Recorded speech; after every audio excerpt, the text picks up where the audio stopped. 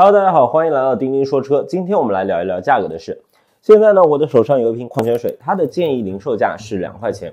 我买过来呢，同样也是两块钱，因为我是在楼下的小卖部买的。但如果同样的一瓶水，你放到旅游景区，就可能卖到五块，甚至是十块。那你买车的时候，同样有一个建议零售价的概念，就像我们如果打开丰田的风云行 APP，这个 APP 呢是你用来买塞纳或者是汉兰达的。打开 APP 之后，可以看到塞纳的建议零售价是三十点九八万元起，而汉兰达呢是二十六点八八万元起。这两个建议零售价其实和上市的时候厂商指导价是一样的。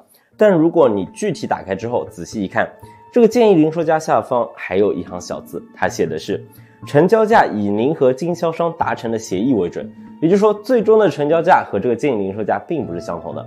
那这两款大热车型究竟价格怎么样？这次我们专程去广汽丰田 4S 店进行了一次暗访。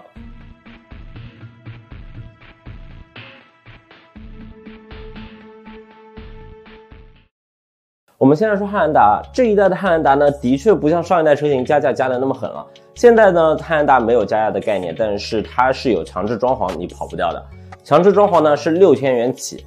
你强制装潢六千元了呢，但要等到五月份才能提车。如果你着急要的话，其实销售跟我说有一台别人不要的配额，三月份就能提，但你强制装潢要加到一点五万元。而塞纳的话呢，它没有强制装潢，但是的确是要加价的，而且加价的幅度高达六万元。如果你当场可以下单的话，销售跟我说，同样有一台别人不要的提前的配额，三月份是可以提车，但我要当场下定，提前的配额当场下定。另外呢，如果你要正常排队的话，要等到二零二三年才能提车。你以为等到二零二三年提车就不需要加价了吗？不，这个加价六万元还是逃不了。那所以这两款车具体的落地价会是多少钱呢？我们这里也以表格的方式来呈现给大家。那加价呢，完全是由于供需关系来形成的。那像汉达的话，今天我们就不多说了，因为这台车其实相较前一代车型已经改善很多了。那其实大家都知道，MPV 市场在国内呢是远没有轿车或者 SUV 那么大热的。那为什么经销商还有胆量给塞纳加价这么高呢？那其实的话，塞纳之前是有平行进口版本的，平行进口的塞纳呢售价高达五六十万元，而现在国产版本呢，厂商指导价至少只要三十多万元起，所以很多人就觉得这款车好便宜，就有一种好划算的错觉。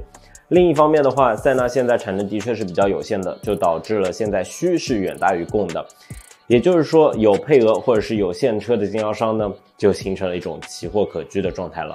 但是塞纳的产品力真的能支撑得起这么高的加价幅度吗？我看未必。同样是丰田的 MPV，像埃尔法的话，它同样也是加价的，而且有些人都很乐意去接受，是因为这款车多少有些被神化了，有些人可能会把它作为一种身份的象征。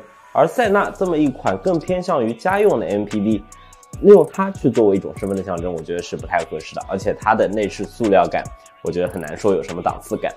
再说一点的话，其实加价这一点也是体现在发票里面的。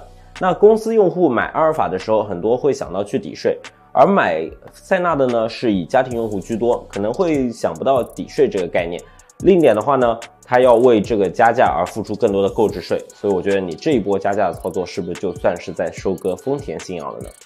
可能提到信仰，一些丰田粉又要跳出来说了。那丰田的车保值率都可高了，的确，在保值率方面的话呢，我承认丰田大部分车型它的品质可靠性都是有口皆碑的。但是你不能忽略一个问题，就是保值率它是根据厂商指导价来计算的，也就是说你卖车的时候比同级别车型贵的那些钱啊，其实还远没有你买车的时候加价的钱多。所以光论保值率这一点呢，也是不理智的。最后呢，丰田汉兰达之所以不加价了，其实有一方面的因素就是它有一款易风的姊妹车型皇冠陆放。我不买你汉兰达，我买皇冠陆放也是可以的。那对于 MPV 市场的塞纳也是这样的，MPV 市场今年的选项特别多。你就算不说老牌的实力选手，像是别克 GL8，那也有韩系的新秀，比如说起亚的嘉华，或者是现代的库斯图，就连本田的新款奥德赛也上市了。如果你真的特别喜欢塞纳，非塞纳不选的话，非塞纳不选的话。那我觉得你反正现在加价也得排队，那还不如持币观望着。因为像是一丰的它塞纳的姊妹车型也马上就要上市了，我相信那款车型上市之后呢，塞纳的加价不可能一直加下去的。